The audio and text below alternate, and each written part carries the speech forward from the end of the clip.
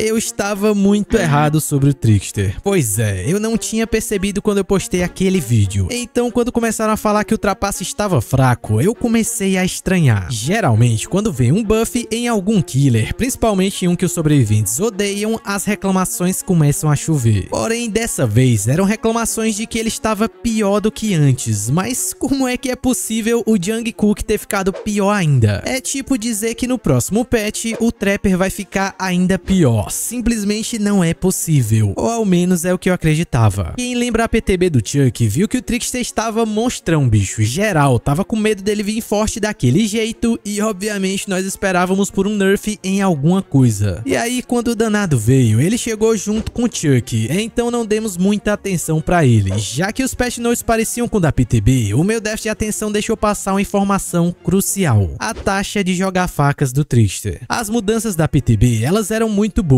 Eles aumentaram a velocidade que ele corre para 115%, antes era 110. Eles removeram coice de facas, o que para mim faz todo sentido. O quão frango o cara tem que ser para sentir recuo jogando faca, bicho. Enfim, eles aumentaram a velocidade de movimento de jogar facas, deixaram a atração principal tão frequente que dá para utilizar ela em quase toda chase mais tinha um porém. Agora seriam 8 facas para machucar o sobrevivente e o main event duraria menos tempo, basicamente metade do tempo. No geral, todas essas mudanças juntas seria um buff bem gostoso nele, mas quando veio o patch final, eles adicionaram mais um porém. Ao invés da velocidade de jogar facas padrão ser 4 por segundo, agora ele jogaria 3 facas por segundo. Sem contar com o fato de que o medidor de laceração ele parece que tá descendo bem mais rápido do que antes. O problema dessas últimas mudanças é que elas afetam todas as outras. Eu sei, no papel não parece muito ruim. Talvez você até diga que o killer tá ótimo e tá mais forte do que antes. Mas após jogar com ele, eu tive um sentimento esquisito. Parece que ele não tava jogando facas no lugar que eu tava jogando. É quase como se o Trickster tivesse acabado de almoçar, bicho. Sabe aquela preguiça pós-almoço que você só quer dormir, mas você tem que trabalhar? Pois é, essa é a vibe do Trickster jogando facas agora. Lerdão, bicho. Eu achei que mudar apenas uma faca por segundo não ia dar muita coisa, mas é bem perceptível a diferença. Joga com ele pra tu ver. E tem outra coisa. Com o Trickster anterior, ele ia progressivamente jogando facas mais rápido e mais rápido. Porém, como o número base é pequeno, agora o multiplicador parece que não faz o mesmo efeito do que antes, pois você continua jogando facas e não parece que fica mais rápido. Sendo que é crucial jogar facas rapidamente, já que são necessárias 8 para machucar e caso você queira derrubá-lo, são 16 facas que você tem que acertar. Porém, pelo menos você pode utilizar mais o main event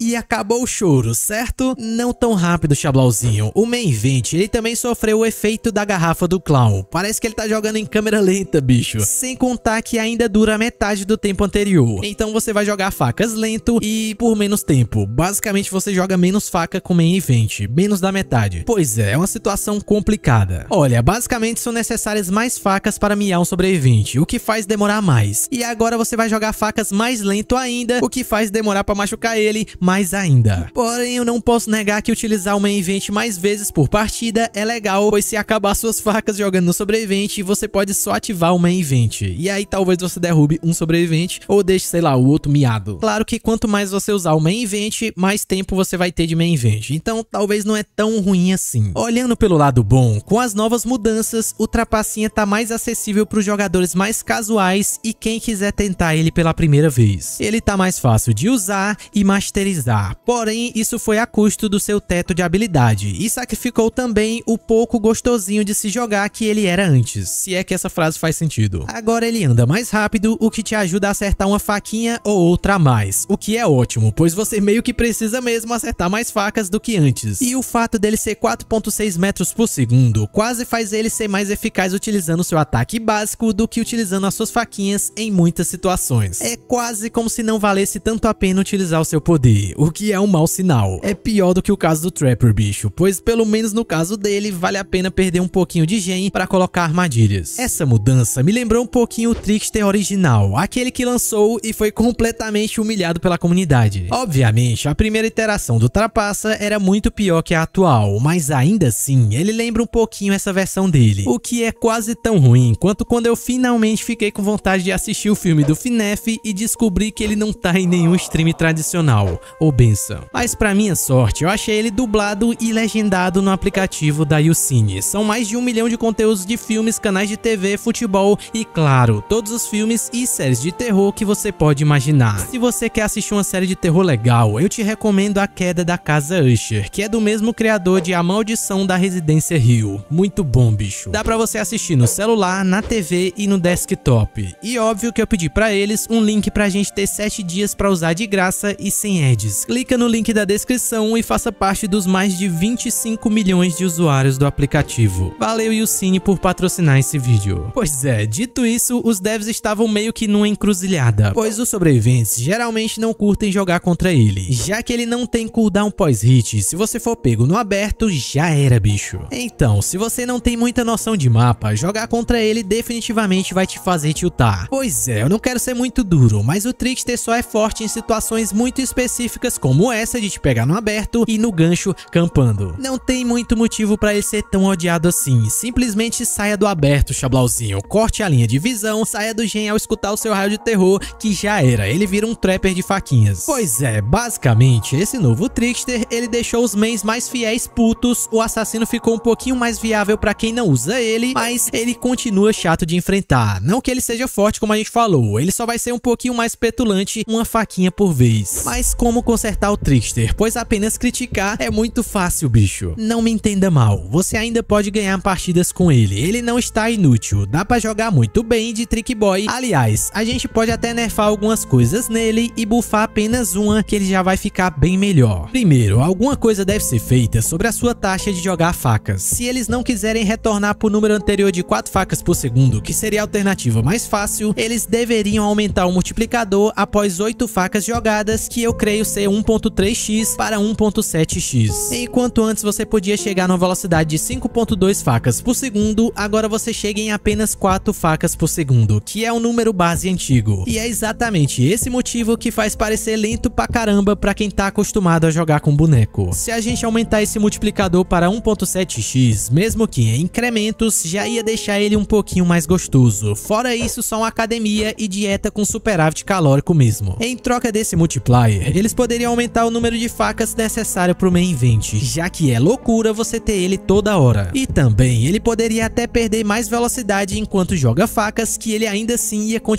melhor do que o trapaceiro atual. É apenas uma sugestão, claro, os jogadores vão se acostumar com essa versão do boneco e talvez mais gente passe a jogar com ele, o que vai enviar uma mensagem pros devs de que esse rework foi eficaz. Mas é aquela coisa, quem vê números isolados não tem a história completa. Na minha opinião, ele tá mais bunda do que antes. Pois é, enquanto eu fazia esse vídeo, um novo patch chegou, mas ele não reverteu as mudanças dele. Ele só bufou um addon de jogar facas mais rápido e isso é provavelmente uma mensagem subliminar dizendo que eles não vão mudá-lo. As últimas atualizações do DBD são 8 ou 80. Os mapas têm ficado cada vez piores, na minha opinião, e saca só as jogadas mais tóxicas da história do jogo. Beba sua água, como seus vegetais e nunca deixe de ser essa pessoa maravilhosa.